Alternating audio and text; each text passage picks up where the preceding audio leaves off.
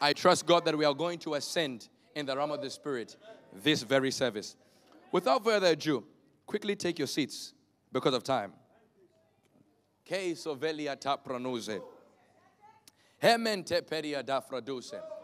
As I told you, I'll be very quick in what I need to do and very intentional.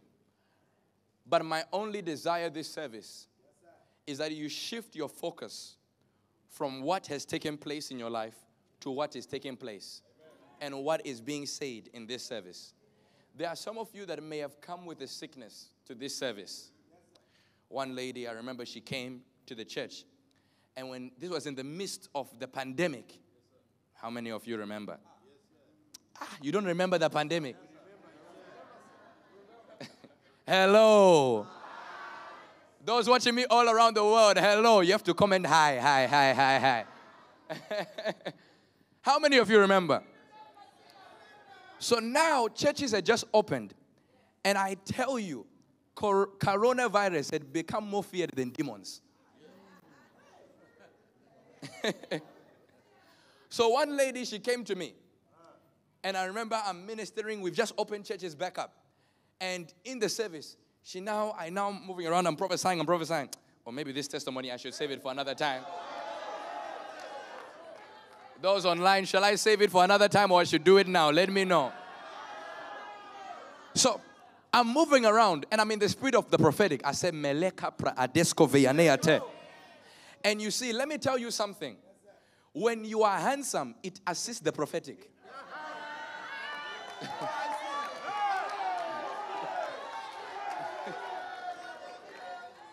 I'm just joking. God can use you anyhow. But how can you be handsome, ugly with the prophet? You become handsome. so that service, I was even looking good. Hey. So the way I was prophesying, I wasn't just saying, the Spirit of God is telling me. No, I say you. God is telling me. So as I'm moving around, I'm moving around. The Lord told me speak to one lady. I spoke to one lady. And remember, I told you, even the fashion that I had that Sunday, it was assisting the prophetic.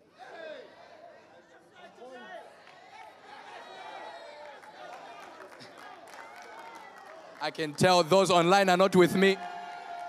Those watching all around the world, they're not with me. Even the outfit I was wearing, it was assisting the prophetic. The confidence I had. You couldn't tell me anything. Even if you tell me someone has taken my vehicle, I said, let them take it.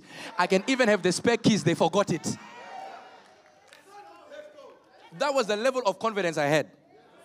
And I'm moving around. And I begin to speak to one lady. I said, Come here. I said, Do you want prophecy? I said, If you keep on doing this level of joy, I'll pass it on to someone else. I told you, this is the level of confidence. And I spoke to her. I said, Come here quickly. And I said, What is it you want God to do for you? She said, uh, See, I want God to do this, I want to go this, but I came here because I've, I actually have COVID. I said, God bless you. ah, I know some people here. Some people here are too holy for my liking. I said, COVID, and you are here. I said, No, leave me alone, please. I'll pray for you. I'll pray for you from home. I pray for the lady. COVID left the next week, it was done. Somebody here. The problem you came in here with, the moment you came in here, it dropped at the door. Ah! Hey! Sit down, sit down. Imagine the moment I prayed for her, it was done. But then I opposed the question. I said, Where else is she supposed to go? Because this place that we are in, it is more effective than clinics, more effective than accountants. We are more effective than the home office. So if she has this disease, where else will she go? There are some of you here. You came with your problem. I am here to tell you, as a seer of God and the seer of London, that problem, it shall not live on in the name of Jesus. I speak now the name of Jesus. It is over with and it is consumed by fire. Somebody shout fire.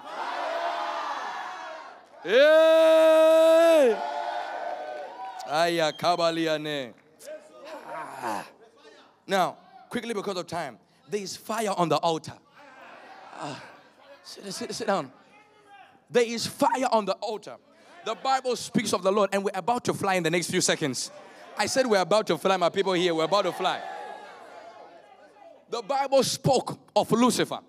And the Lord said, The same fire I placed on the inside of you is the same fire I will cause to consume you. So even the fire of the enemy is nothing compared to the fire that God has placed upon us. So when she came with a sickness, it was simply consumed by the fire of the Holy Ghost. The moment she came, she entered the location, sickness exited the location. The moment you came here, your problem exited the location.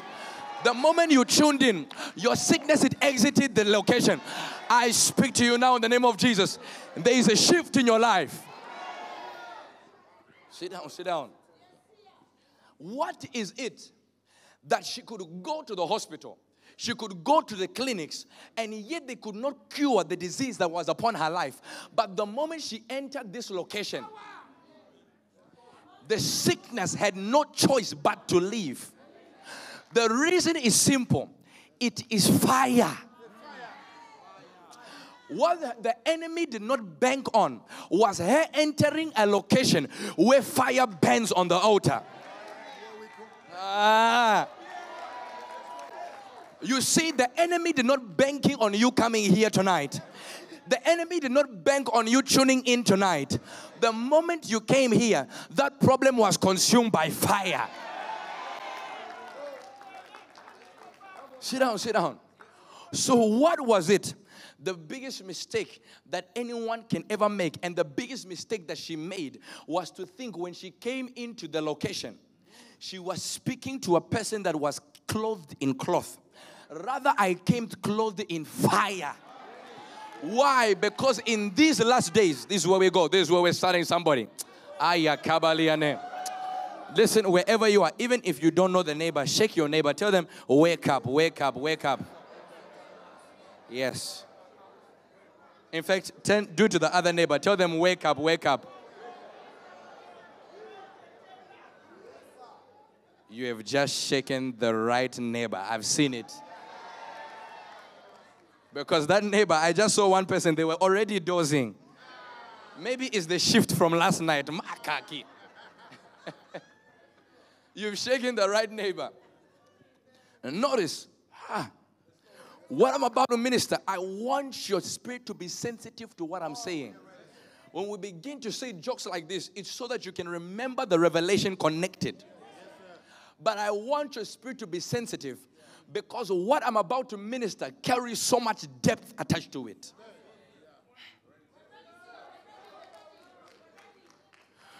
You see, the biggest mistake you can make is to think on Sunday service, I came clothed in a suit, or to think you are seeing Prophet Angel and he is clothed in a suit. Rather, he came clothed as fire.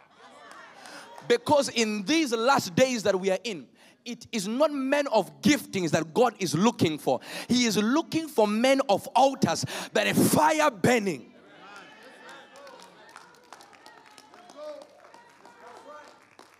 It is in the, the, the, the strength of Abraham was hidden and revealed through altars because it is in the book of Genesis, chapter 13, verse 4. The Bible says, Unto this altar Abraham built in the book of Genesis, chapter 13, verse 18, it says, And Abraham built this altar.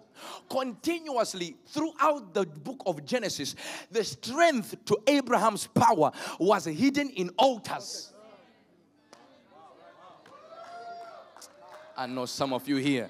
Meleka Fraduze. Ah, I wish some people here. My desire for you tonight is that you catch a revelation that can make you journey beyond the ages in the name of Jesus.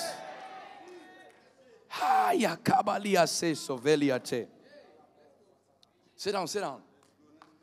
In the book of Genesis, chapter 13, verse 4, Abraham built an altar. In the book of Genesis, chapter 13, verse 18, he built an altar. In the book of Genesis, chapter 29, verse 9, Abraham built an altar. Every single location Abraham entered, they were littered with altars. The secret to his strength was not his gift, but the fire on his altar. So, in these last days, it is not your gift God is looking at when He is choosing and deciding the person to use. On the canvas board, when God is deciding and depicting the individual to use, He is not looking at the gift. He is not looking at your, your sharpness in the prophetic. He is not looking at your ability in the unction of healing. Because even the Bible says, in the last days, I will pour my spirit amongst all flesh. Your sons and daughters shall have dreams. Your old men shall prophesy. Meaning, the, the gift of prophecy is available to every Christian. So, God is not looking at your ability in the prophetic. He is not looking at your ability in healing the sick. He is looking, is there fire on your altar or not? He is not looking for giftings, he is looking for fire. Ah. It is men of fire that journey beyond the curtain of time. This is why it is a man of fire that journey beyond the curtain of time. It is a man of fire that don't die. They move from life to eternity. The Bible spoke of the brother of Cain, Abel and he said, eh, he spoke of Cain killing his brother Abel. And the Bible says, the Lord has the audacity to say to Cain, The blood of your brother crieth unto me from the ground. Even in death, Abel's voice was being heard, and yet he was a dead man. His altar was speaking for him, even in death. There are people here that are surviving off the prayers of their mother surviving off the prayers of their father because even in their death their altar is still burning for them. Fire on the altar. Sit down sit down. There was fire on the altar of Abel that even in death his voice was still being heard.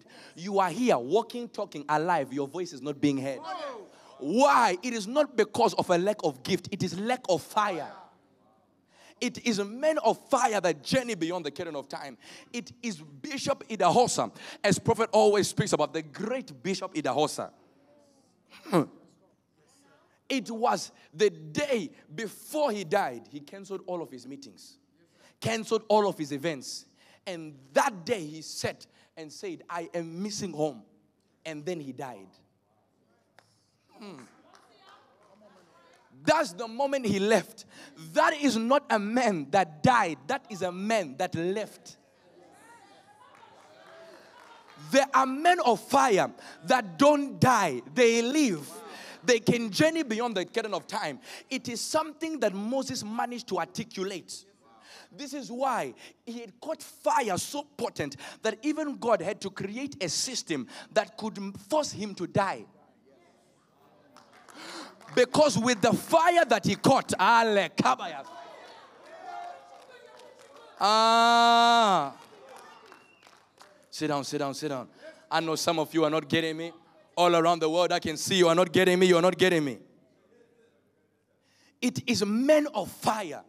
There had to be a system that was created specifically for Moses to die the man had caught fire so potent that he could refuse to die, that God had to create a system, some type of frequency that could force him to die, that go upon the mountain and die. What did he catch? Fire. There was fire burning on his altar, so potent that even if you grabbed a knife and put it through his body, the man would still be breathing, even better than what he was fire. He refused to die, that God had to force him to die. Now, you, if you catch flu, I know some people are here, they, some people here, they don't want to testify. You, you, you, you catch flu, even a headache. Am I here, somebody? Am I here, somebody? All around the world. Are you there? Even if you catch flu, one person I know that is close to me.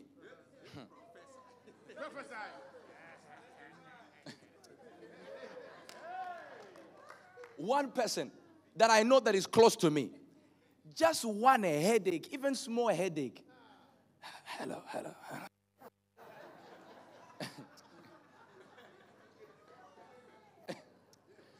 ah, hello, how are you? Ah, I'm trying, I'm trying. The man, it's as if he's died. It's as if he's died. You will not see him for three weeks.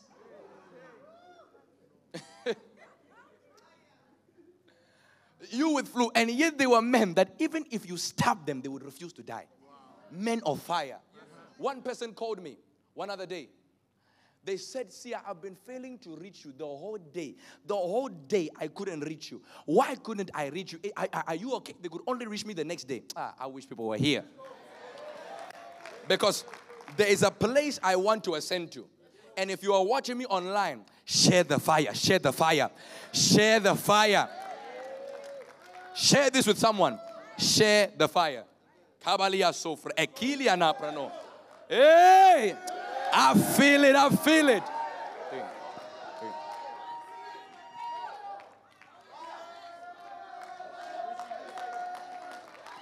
Jesus. Thank you, Lord Jesus. In Jesus' name. Sit down, sit down. So Shaliga Parano. They called me. The whole day I failed to reach you. Mm. I said, Listen, I said, My brother, you have to forgive me. I said, It's because the devil tried to deceive my body that, was, that it was sick.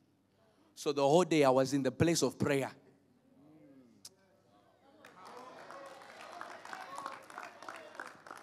They called me and they said, We couldn't reach you. We thought something was wrong. I said, I was in the place of prayer because the enemy tried to deceive my body that it was sick. My first resort was not medication, my first resort was fire. That was my first resort. That sickness, you have no hold in my location. How have you even entered this location? Do you not know fire is burning here? Sit down. I was in the place of prayer. I was not on, in the hospital. I was not drinking Lemsip. Some of you know it. Some of you know it. I can tell. I was not seeking for medication. I was in the place of prayer because I know that this prayer it speaks better things than the medication can. There is a fire on my altar that no matter the plans of witchcraft, when they arrive here, they burn here also. I see that sickness burning in the name of Jesus. Sit down, sit down, sit down. This is the reason why it's easy for many of you to sin because there is no fire in your household. The moment you begin to paint and stain the walls of your, lo- your house in prayer, it is difficult for you to sin in that location. The sins, the, the, the, the walls of, of, of my father's house are stained in prayer that you can enter the location and begin to smell. We, we, we used to be in the garden when my father was still located in the United Kingdom and he would go into the garden and we'll pray, pray, pray, pray. One day we did seven days prayer. At the end of the seven days, I now wanted to go rest. As I'm walking, he said, Where are you going? I said, Kai.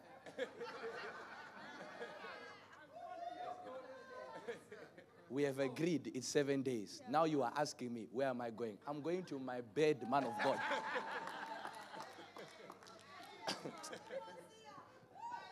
seven days. After the seven days, I'm now going. He says, Where are you going? I said, Father, I said, I'm just going to turn around. Who am I to tell him I'm going to sleep? My heart, though, was saying, This man, he's too spiritual. it's too hard. Seven days we did. At the end of the seven days, he said, We are continuing to another seven days at the end of that seven days, it was now 14 days. I said, Thank you, man of God. I'm now going to sleep. He said, Now we are going doing another seven days. 21 days in the place of prayer.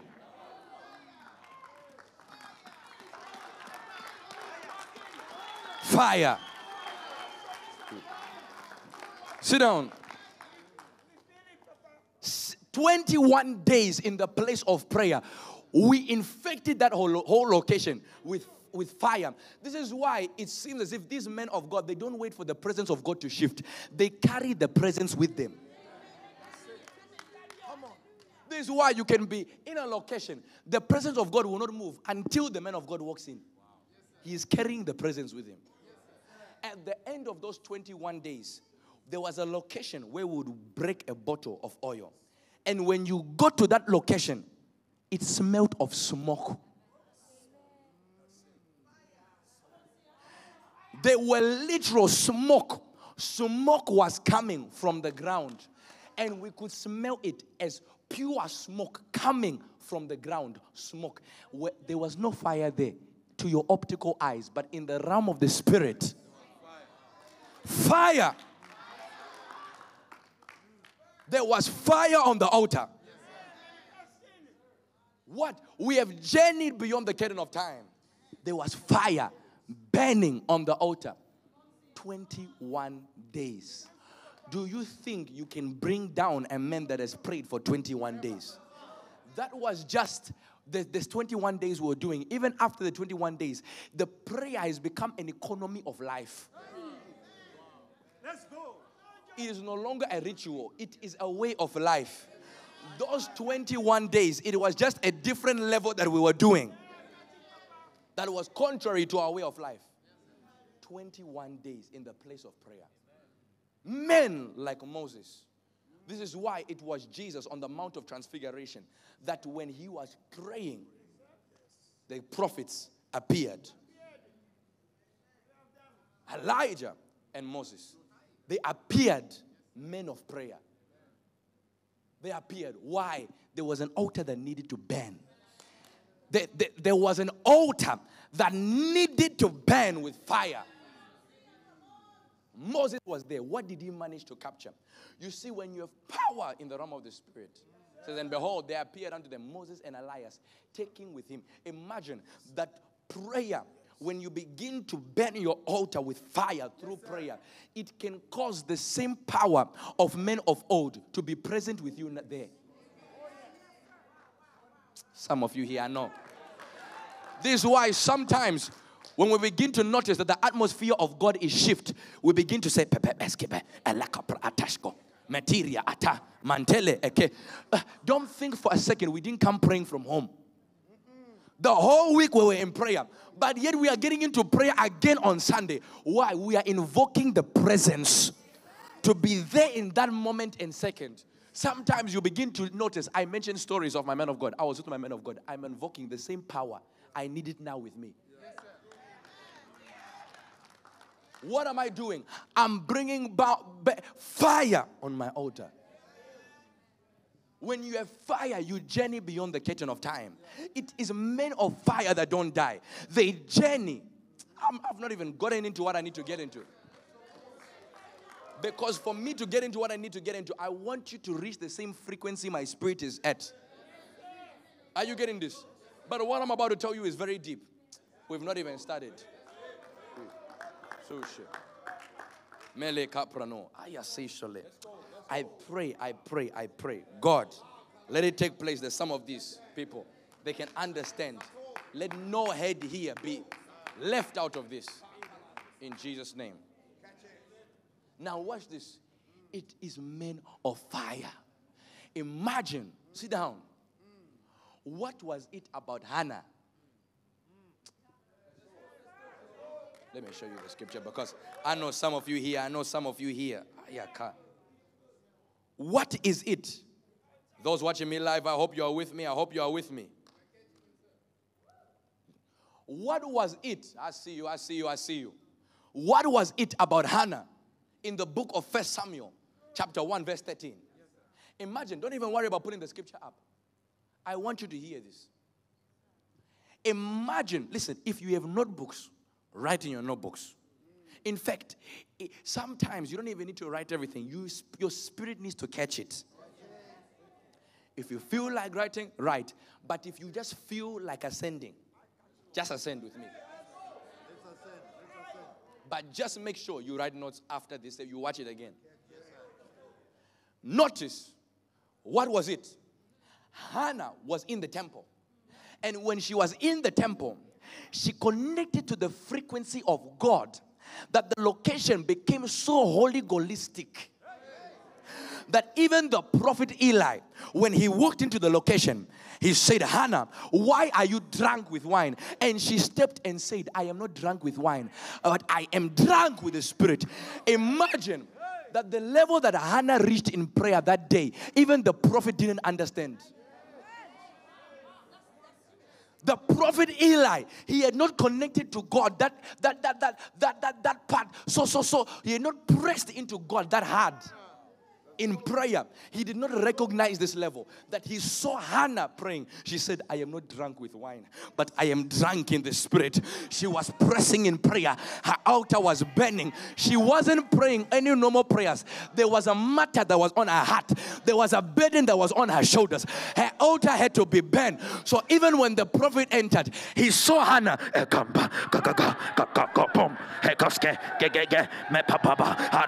hey!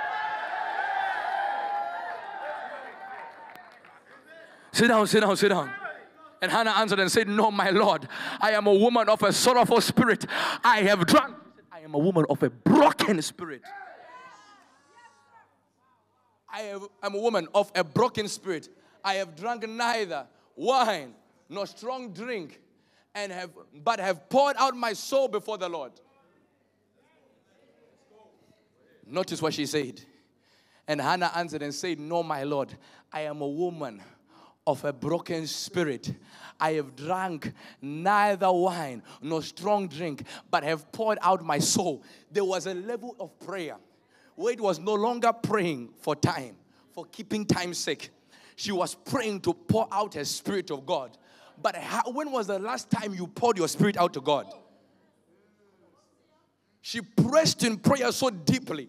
It was no longer prayer, it was pouring her spirit out to God that even when Eli, the prophet, had entered, he did not recognize that level.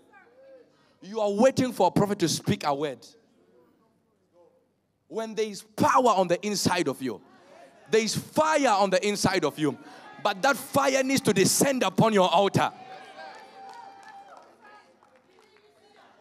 When, when will you stop waiting for the prophet to speak a word?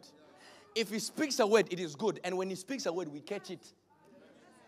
But when you are you are relying, you, you, you, you are useless until the word is spoken. When will fire descend upon your altar? That you be like Hannah and you pour out your soul to God and you say, Lord,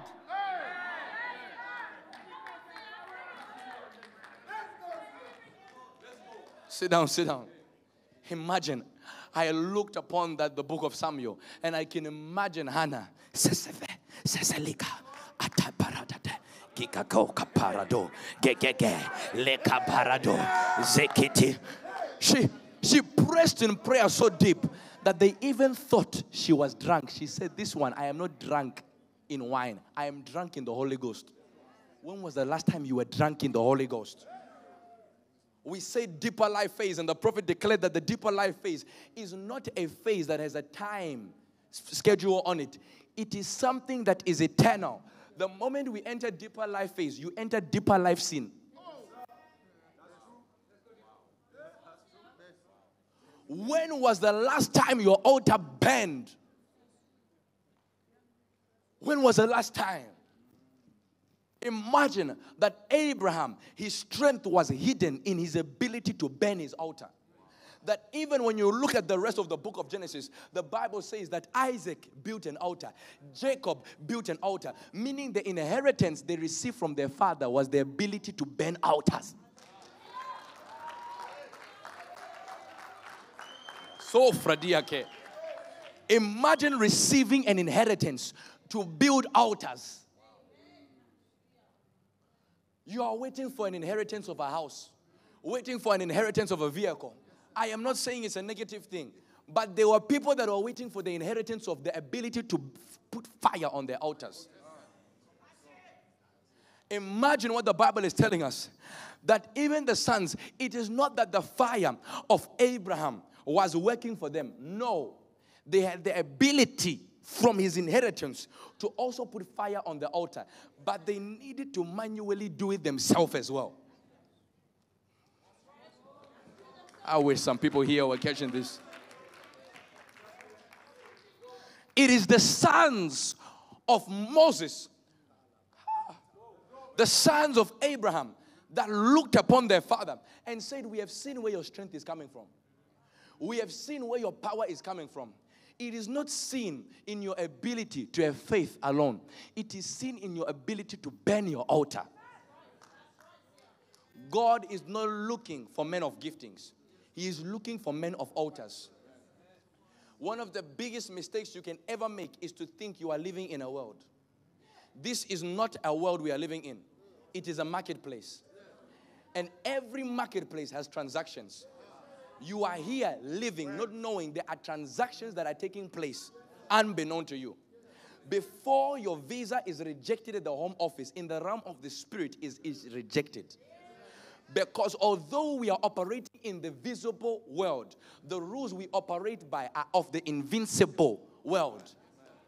You are walking here wondering how come I came in this world for free? I don't feel like there is any marketplace. The reason why you cannot recognize it's a marketplace is because you are the product.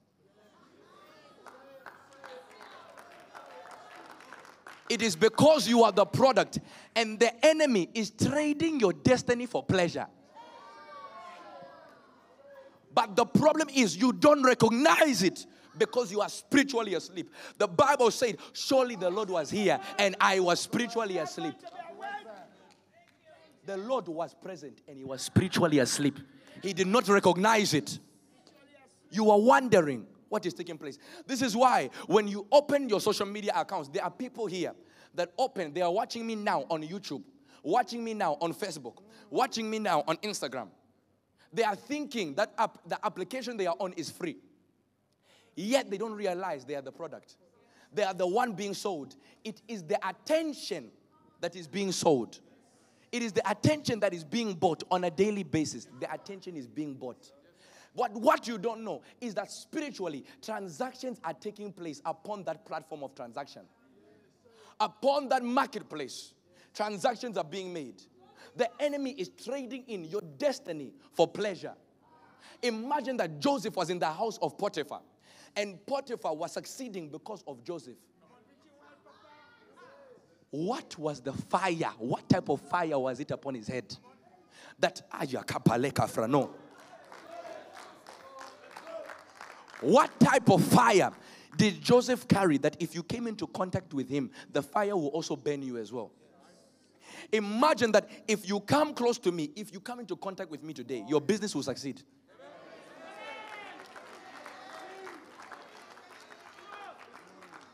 There is no way you can spend seven days with me and you are still in the same position. Why? There is anointing of Joseph upon me. There is a fire that is burning on my altar. It's impossible. There is no way you can walk with Prophet Angel like this, even one day. With him, it's worse. And you are still in the same position. If you are still in the same position, you are a fool. Sit down. That is not revelation you need, it's a slap you need. Fivefold ministry. This one is the truth. So imagine that Joseph was in the house of Potiphar. Everything was succeeding. And when the wife of Potiphar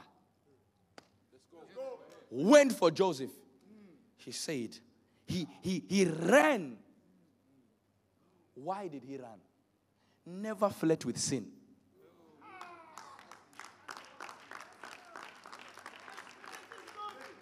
He weighed his destiny with the pleasure, with the temporary pleasure and gratification of his soul at that time, gratification of his flesh at that time. He weighed both scales and he came to the realization that my destiny is heavier. Said, and she caught him by his garment, saying, Lie with me. And he left his garment in her hand and fled and got him out. Listen, when you see sin, don't negotiate with the enemy, run.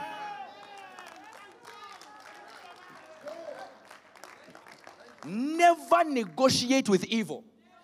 This is why. This is why the Bible says, Suffer not a wish to live. Because you can never under, underestimate the power of someone that is still breathing.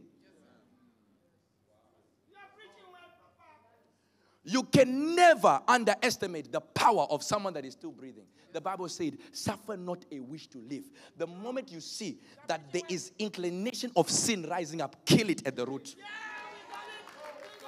And the only way it dies is by fire. Sit down, sit down. Joseph, inside, he fled. He didn't leave. He didn't walk out, he fled. Never negotiate with sin, never negotiate with evil. Run. He ran that he even left his garment. His garment was left. Go to verse 11. And it came to pass about this time that Joseph went into the house to do his business, and there was none of the men of the house there within. Hey, he just went there. His intention was business, but the enemy's intention was his soul. He didn't know the day he was entering that house, the same house he entered every day. He didn't realize that that day, that house had become a marketplace. The enemy's intention was to trade his soul for pleasure. And when he recognized it, he ran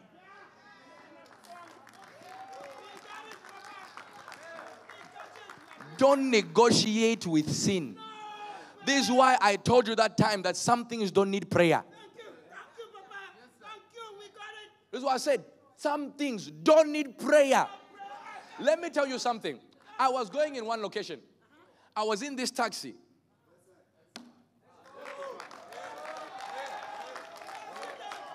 And when I'm in this taxi, this is what the Spirit of God is telling me right now. This is not anything I came with from my house.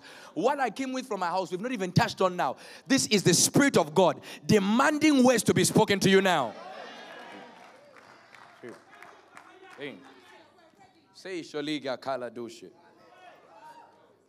Sit down.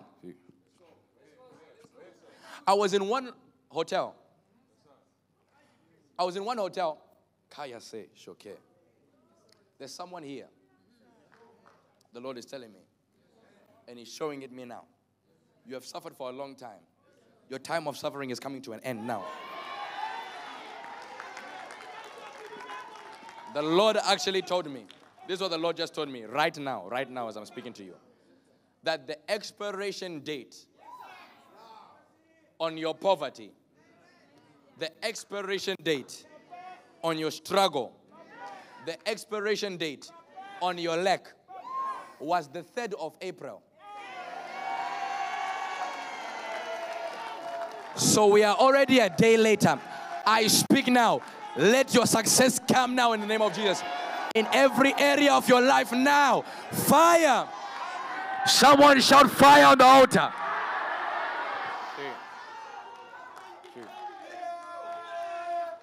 Sit down, sit down. I was in one location. And I had, I was in this luxury hotel in a place called Piccadilly. How many know Piccadilly?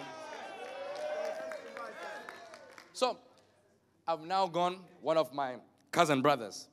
He's also staying in London as well. Now, you see us, we don't sleep. All right? We don't sleep. Even if you say, Where are you? 4 a.m. I say, I'm here. Let me go to you. So I left my hotel in Piccadilly, maybe early hours, 12 o'clock. Now it's, eh, I'm, I'm at his place and it's just a few minutes away. How are you? We're talking, we're laughing, we're laughing. And he's a great brother of mine and appears in so many photos with me because we love each other a lot.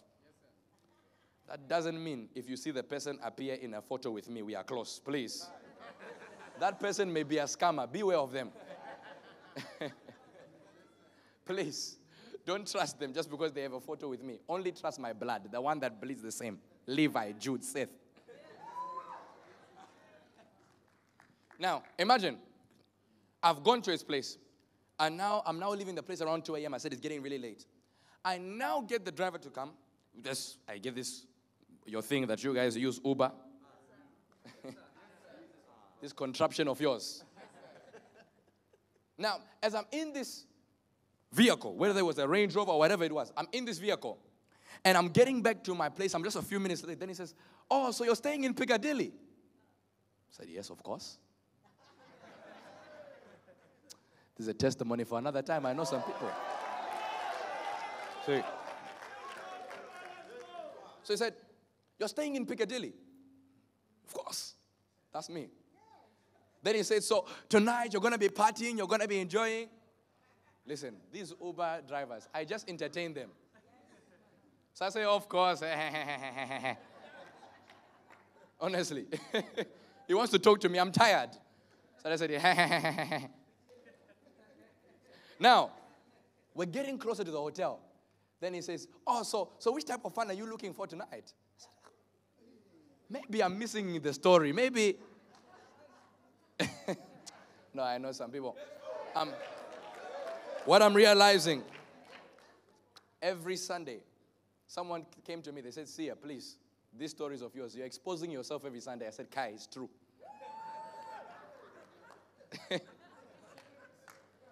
now imagine, this one I didn't know. Now, I mean, he says, So which type of fun are you going to be looking for tonight? Fun. I'm confused. So, what type are you looking for? Black, Indian. I said, this brother has got a different revelation that I. That I see. eh?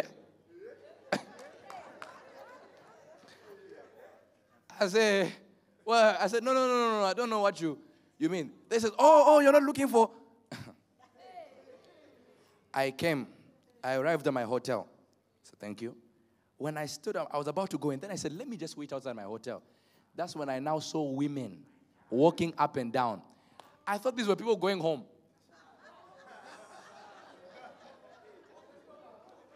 Until I stayed there for 10 minutes, it was the same people going back and forth. I said, maybe I'm delusional. I stayed. I, I came inside. I opened the window because this, when you get into the entrance where the reception is, there's a window where you can open the curtain and you can just see. I stayed there for 30 minutes. I saw cars pick them up, drop them back. They stayed there again. They, that's when I realized the place where I was was, was a marketplace. now, let me tell you something. Maybe this is a different testimony for another time. Online people, online people. I need you. I need you in the comments to really help me here and forgive me. Let me tell you something what my first resort as a man of God and a man of fire and man of the cloth was to do.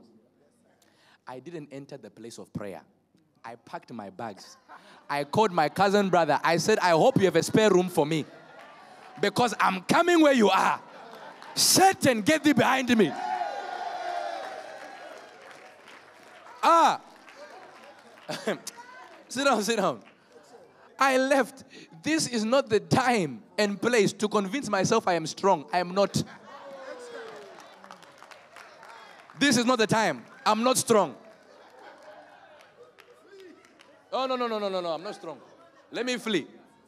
This is why even a lady, she can't come close, too close to me. Don't whisper in my ear. I don't have the capacity for it.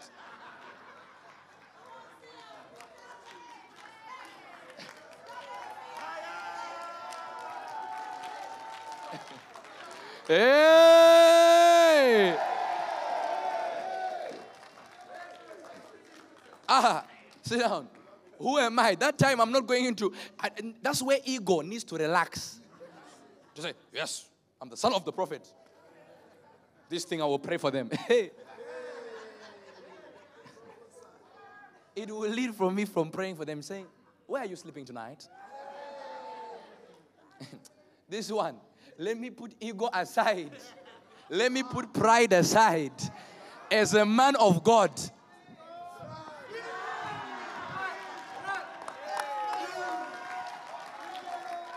Hey! Sit down.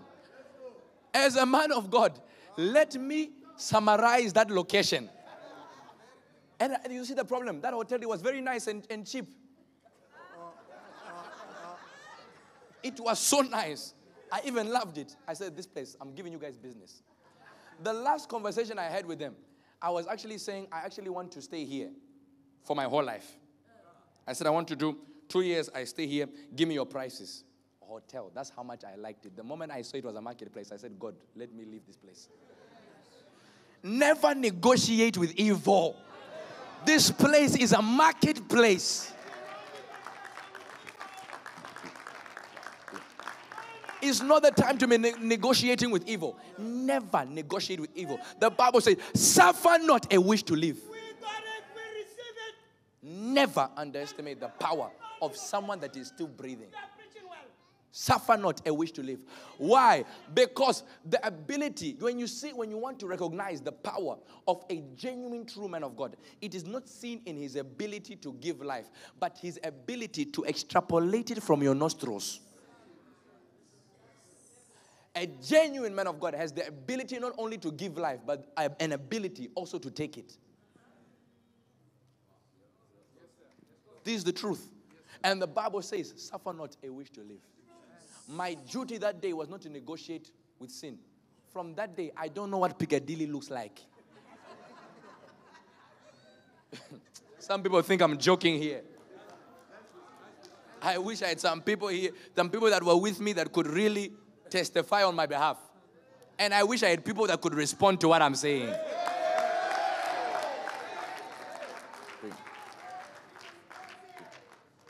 Sit down, sit down, sit down. I've never seen the street of, I don't know what it looks like. One day I was in a taxi. They said, Oh, we just have to go through Piccadilly Circus. I said, Piccadilly. I said, No, no, no, no, no, no, no. I don't have the capacity. They said, No, it's Piccadilly Circus. I said, Okay. Don't negotiate with sin, it is a marketplace. The biggest mistake you can ever make is to think we are in a normal world. It's a lie. The book of Ephesians, chapter 6, verse 12. And I'm about to get deep here. Let's read. Three, two, one, go. For we wrestle not against flesh in fact, and in blood. fact, start from verse 11. Verse 11. Let's start from there. I want you to get this. Please read slowly, read very well, so that it can migrate into your spirit. Those online, read with us. Three, two, one. Put on the whole armor of God, that ye may be able to stand against the wiles of the devil.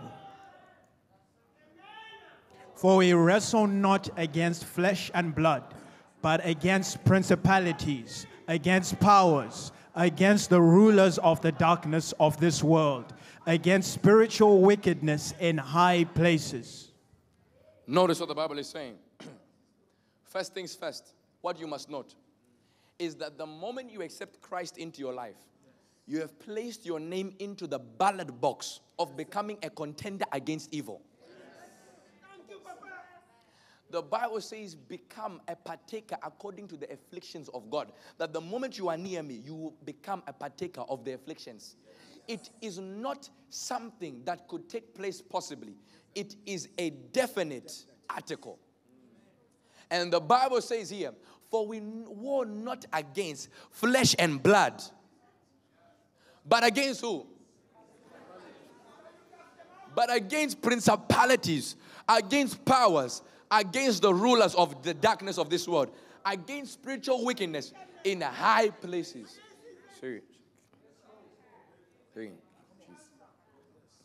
Against principalities, against powers, against. Notice what the Bible is saying. First, verse 11.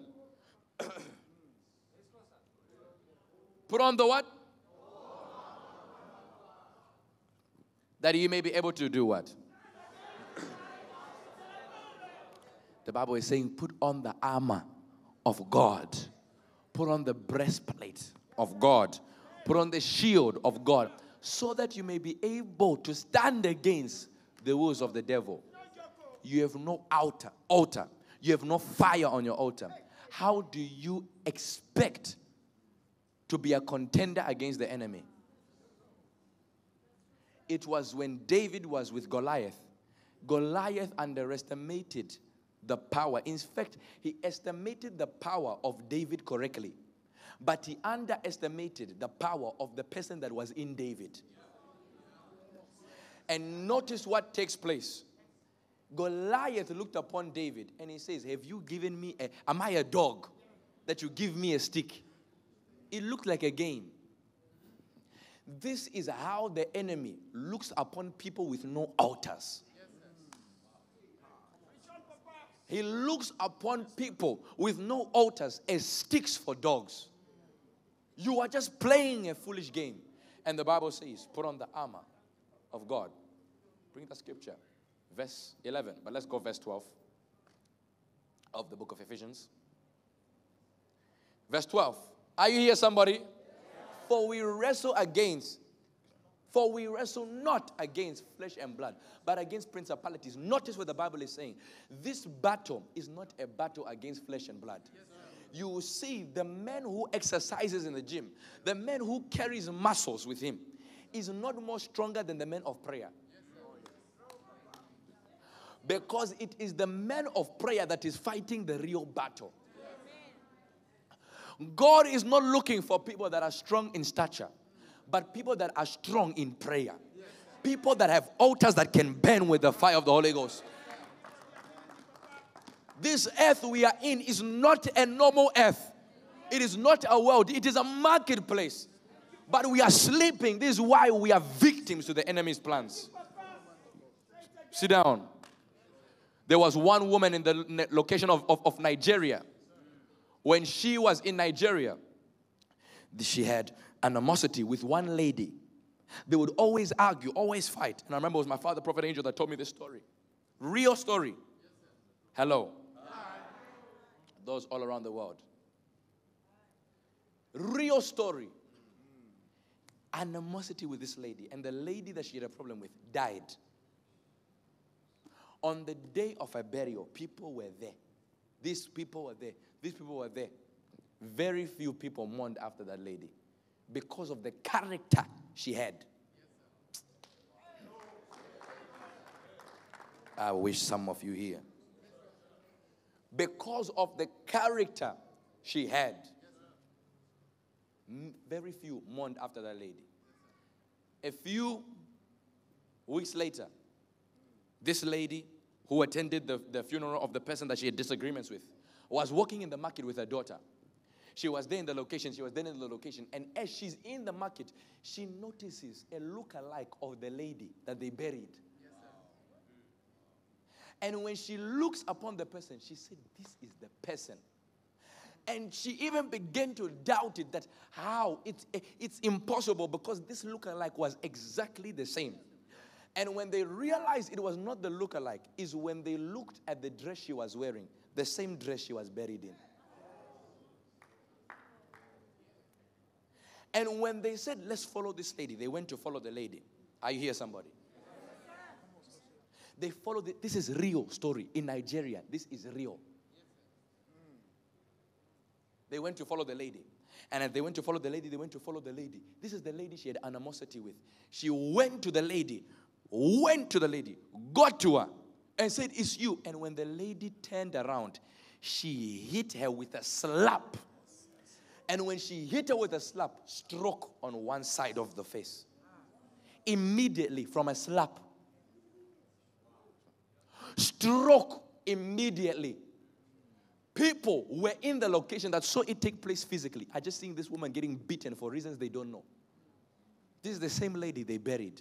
And when she slapped her, there was a stroke, one side of the face. It is only at a deliverance service Time after that, she said the testimony that says, My daughter is here. She can testify. There were people that saw it take place. I was slapped by the same lady we buried, and I had a stroke on my face. What do you call that? Those are principalities of darkness. Oh, yes. The biggest problem is you think the world we are in is normal. And don't make the mistake of thinking these things only take place in Africa. It is not location alone, even though location has a lot to do with a lot of these demonic things. But it is not location alone. Many of you feel as if you are suffering from generational cases. It is not a generational case, it is a generational spirit that has followed your father, followed your mother, now followed you. Why? Because demons have no reproductive organs. So the same spirits that were fighting Moses, same spirits that were fighting Abraham are the same spirits that are here today. The same demonic spirits of old are the same that are here. They have no ability to give birth to a new demonic spirit. They are the same ones. So you wonder, how come this taking place? How come this taking place? It is because it is a spirit following the bloodline. This is why the Bible says Abraham liked fair women, Isaac liked fair women, Jacob liked fair women. Their whole family liked a particular woman. To you, you think it's by accident. No. It's a generational spirit, not a generational curse. The problem is we have become too conformed to the systems of the world that we begin to embrace those things. Even my father, he was like that. Even my grandfather. This is not something to smile about. It is a generational spirit. And the reason why the spirit can even get close to you is because there is no fire on your altar. There is no fire burning on your altar. This is why it seems demonic spirits are attracted to you.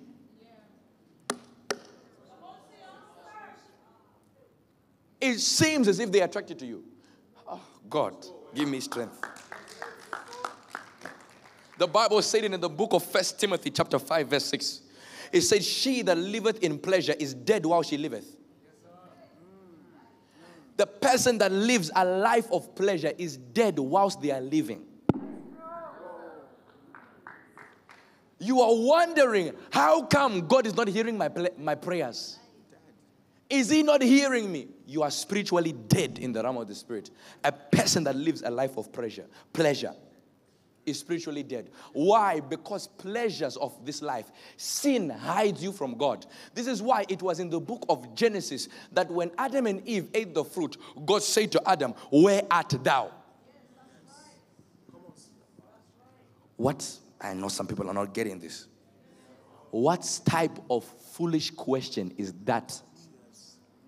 The question can make sense for us but for the person that the God that is all knowing, the same God that says, Before you were formed in your mother's womb, I knew you.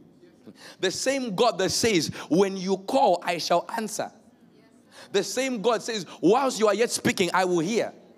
This is the same God that is saying, the all knowing God, the Alpha and Omega, that says, Where are you? How? What audacity does he have to say, Where are you? This whole time, you knew where Adam was. But the moment he stepped out of a line of God's vision, he was invincible. Why? Sin makes you invincible to God's vision.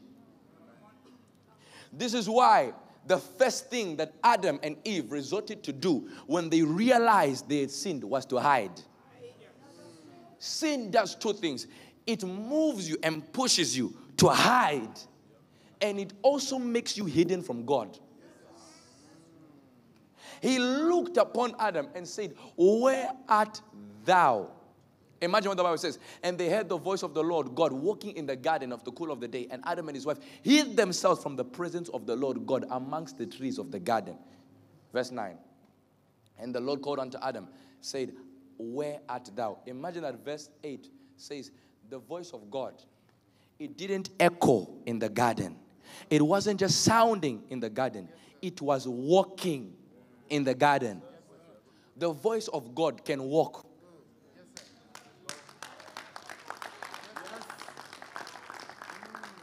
You don't know it. Why? You are spiritually asleep to the affairs of the enemy. You are spiritually asleep. Imagine that Adam, the whole time, God knew where he was, except the time that he sinned.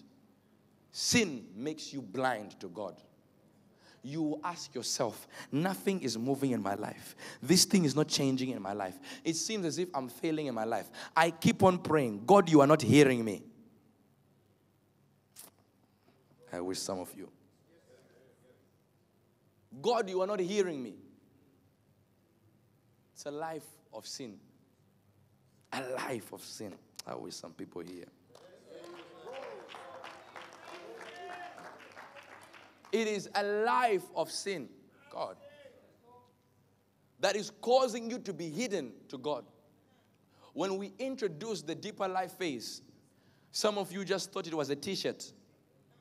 You were excited about the new apparel, but you didn't treat it with the revelation it needed to be treated with. A deeper life phase means separation from the world and rebellion against sin. This is why in our youth we say we are rebels for Christ. Why? We are rebelling against what the world does. Notice, this is what the deeper life phase is all about. And when you look at fire, fire is, it doesn't only burn, but it separates.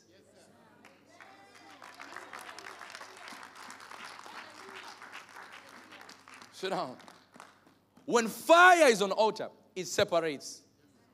This is why it was Elijah when he spoke to Elisha, he said, If you see me go, you will receive what you have asked for. And when he was taken, it is chariots of fire that separated them. Fire separates, and fire purifies. When you live a life of fire on the altar, a deeper life, there is no way sin can find you. There is no way. It is the way of separation. The way of separation. But some of you, we are too given to our pleasures. Are you willing to say, God, strip me from everything? All I want is you. Because the price of all of Him is all of you. I sat in my house. I said, God, I'm all alone here. I'm just by myself. And when I leave this location, I'll be by myself again. My family are not with me. When on Monday to Sunday, I don't talk to anybody. Nobody is with me. I am all alone in my household. I said, God, why is it you allow me to be alone? And then I realized it is the way of the wilderness.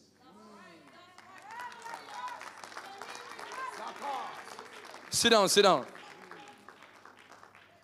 I said it is the way of the wilderness because I was in my household. I said, God, you can't allow me to be alone. I have no friends to talk to, I have nobody to call. I don't go out. I have no wife. I have nobody around me. My family, they, are, they don't live with me. Why would you allow me to be alone? I said, God.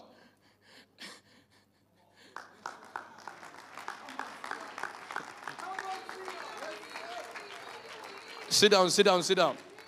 And then I realized it's the way of the wilderness. Because even Moses, he need to be separated from the palace. I read about Moses. And Moses, he left the palace for 40 years. It was him and God alone. So I say, God, I know why you have placed me here. You have placed me in the period of the wilderness. And it is in the wilderness that Abe, that Moses was able to perform more miracles than he did in any period of his life before the wilderness.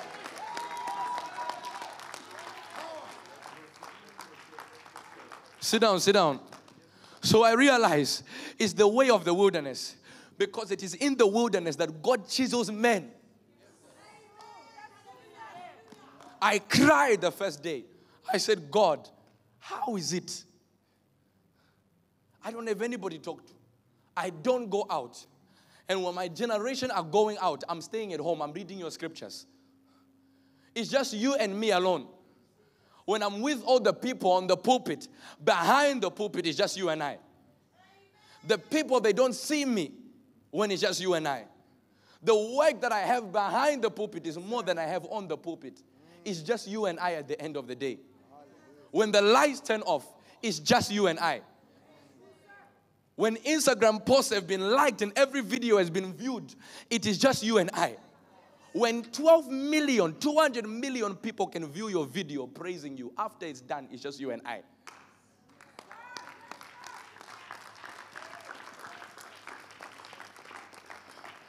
I cried that day. And I was forced to wipe my tears because I realized God had placed me in the period of the wilderness. Separation. And during this time of the wilderness of my life, the time where I was with people, the amount of times I've, I've, I've touched my Bible is more than when the people were with me the things I've gained through the revelation of God are more than when people were with me. I've journeyed and captured spiritual things more than when people were with me by my side. That's when I realized it's God chiseling my tongue. It's God chiseling my tongue. He's preparing me for greater. Because even the Bible says,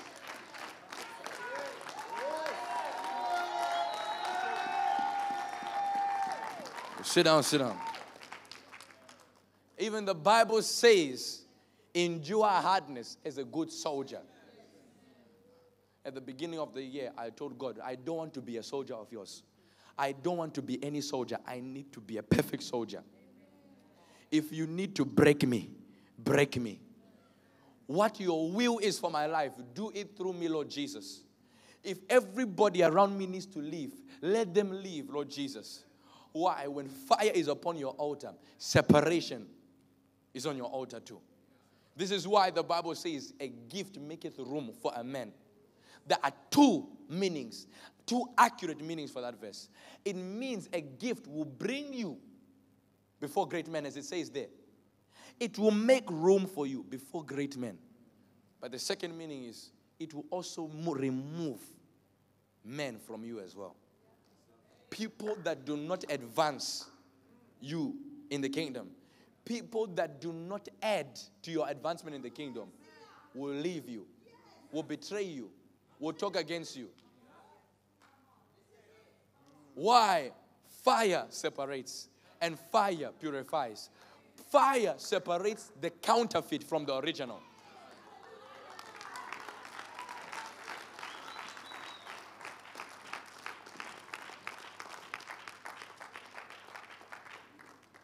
It is fire. Sit down.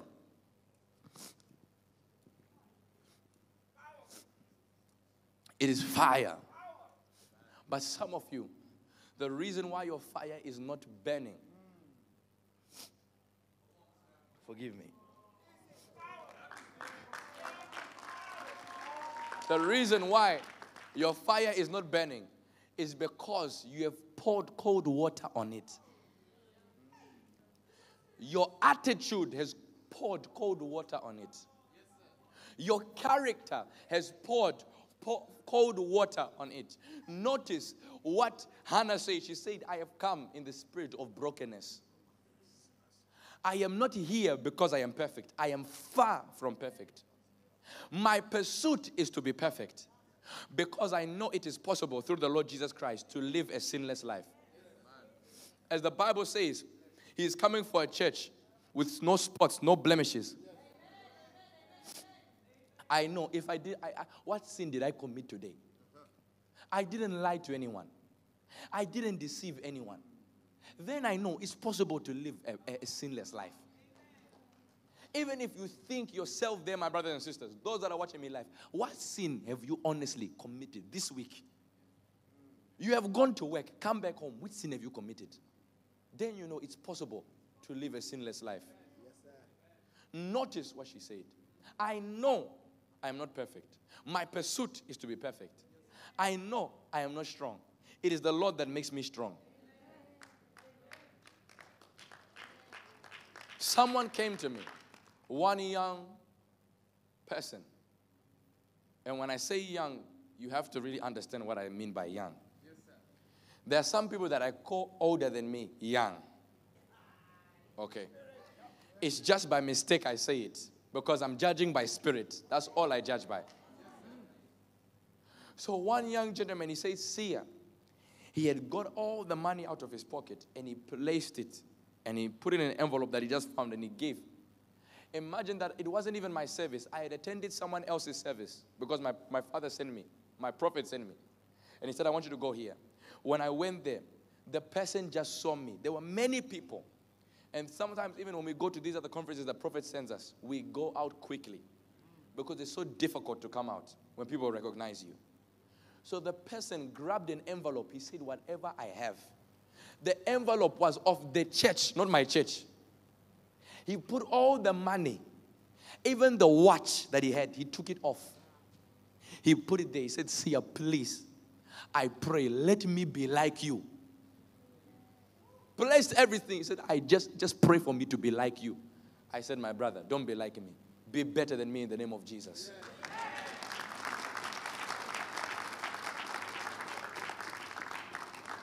I said, Be better than me in the name of Jesus. What he said, I took it because I knew it was from his heart. But I said, But your prayer request, change it. You shall be better than me. I can make a mistake. God will never make a mistake. I can have blemishes. The Lord will never have a blemish. It is impossible for him to have a blemish. So, the reason why I'm here is not because of my perfections, but because of my imperfections. It is through my imperfections that God makes me perfect. And notice that God is looking for someone with a broken spirit, a spirit with humility a spirit that can genuinely say, Lord, I know it is not by my own ability, not by my own might, but by your spirit, Lord Jesus. That is what God is after. This is why it was Hannah praying in the spirit of brokenness. In the spirit of brokenness. She was in the spirit of brokenness. That in her prayer, God recognized it. Said, a woman of sorrowful spirit it was through her brokenness. It, God is looking for your brokenness. I told you once service that every single time, every single time, before I ascend to the pulpit to minister, I kneel down and I say, Father, this work I'm about to do, I cannot do it without you. Please, Father, use me as your vessel to help the people I'm about to speak to and let your will be revealed, revealed through me. I disappear so you can appear, Father. A prayer I pray every Sunday without fail. Without fail.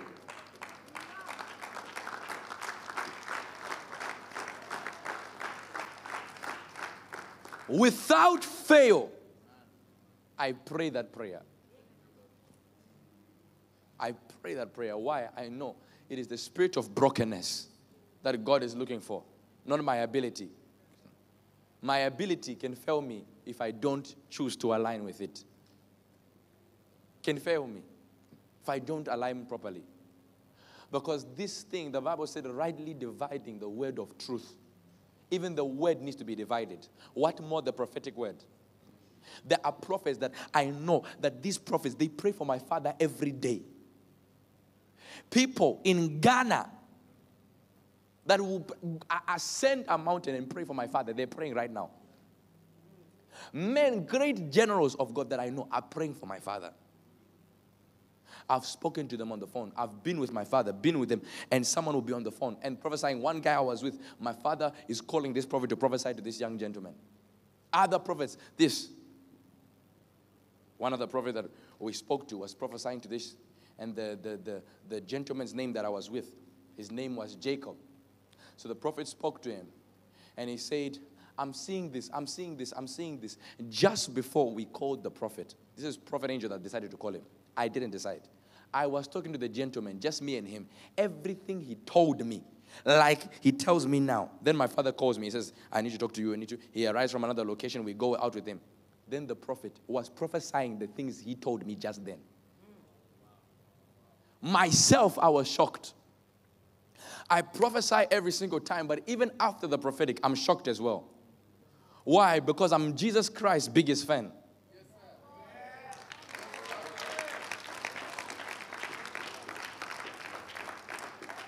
Every single time I see the Lord at work, I am so shocked because I'm his biggest fan. So I even look at the, the prophecies that take place and I say, God, I'm thankful to you I'm thankful, Lord Jesus, that this person was helped like this. Not at my own ability. I have no ability. It is God's ability through me. And when he spoke to this young boy, everything, the young boy is never, he doesn't know what the prophetic is. This is a celebrity. Doesn't know what he's just saying. What is this? How did this person know? And I've been with him. He's not seeing me with my phone, no. And he says, I'm seeing someone. It's like J, J, J, J. I told you this brother's name was what? Jacob. says J. I said, maybe it's Joseph. Joseph. Notice, the Bible says, no, I'm not Joseph. I don't know anyone. I said, you. Your name is Jacob. But why is it that the prophet saw Joseph? That part was the flesh. The J was the spirit.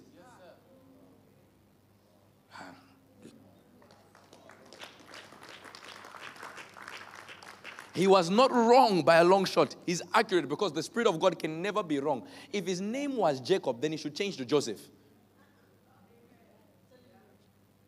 But imagine why? Because that's what can take place where you allow the flesh to take over. That you even, that is even a better circumstance. But I'm just giving you an example so you can tap into the depth of the revelation of the prophetic. Yes, why? Because even as seers of God, we also want to boost that person's faith. So when we are seeing the J, we'll say in the realm of the spirit is J, but this name is like this, and we'll complete it. But that completion, God may only be giving you the J. But you go ahead to Joseph.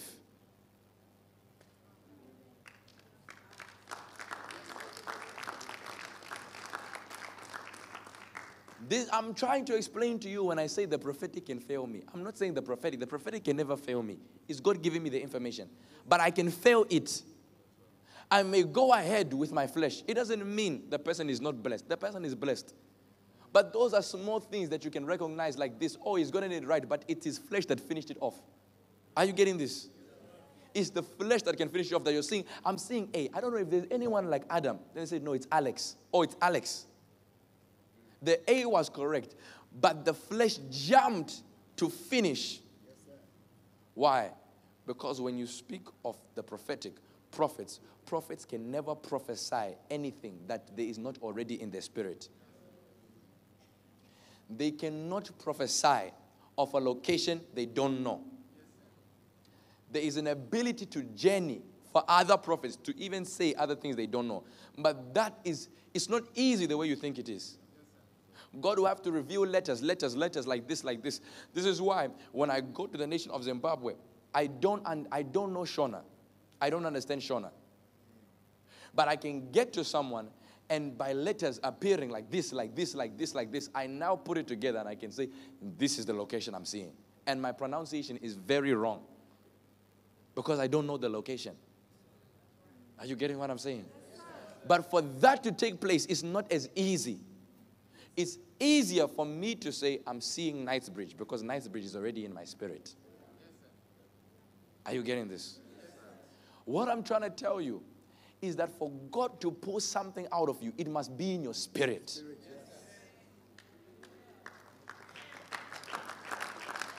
These are principalities. You are seeing principalities, rulers of that. Those are type of demons. You are just thinking is the description. Those are type of demo- demons. There are principalities. There are rulers of darkness. Then there are demonic thrones. Then there are demonic messengers. These are different types. The reason why you may be, I believe it was Jacob who said, I, I was asleep and surely the Lord was not here. The Lord, Lord was, the surely the Lord was here. You may be here and spiritually asleep. The reason why you are spiritually asleep is because you don't know. It has not entered your spirit. The Bible said, My people perish. Because of what? Lack of knowledge. We are perishing every day because we don't know what the scriptures say. We don't know what the scriptures say. We have not awakened to the reality of Christ. This is the reason. Because the biggest advantage the enemy can have over us is knowledge. Even in the Garden of Eden, he was there. He has seen the patterns, he knows the ways of the enemy. He knows what destroyed your father, and he knows what can destroy you. This is why there are many of you that can notice the same problem your father had with the lust is the same problem you are being suffocated with. You think it's a generational curse, it's a generational spirit. The only way you can contend against those spirits is with fire on the altar. And fire on the altar can only be placed on the altar to people with revelation, people with knowledge of the scriptures, people who know Him beyond the pulpit. I pray for every single person here under the influence of my voice. I pray by the Spirit of God that you journey with God in the name of Jesus, that your life may become a manifested reality of who He is. I pray in the name of Jesus, may you ascend different heights in the realm of the Spirit. May your life be changed forevermore. And this revelation that was spoken to you this evening, let it not depart from your lips, from your mind, and from your spirit. In Jesus' precious name.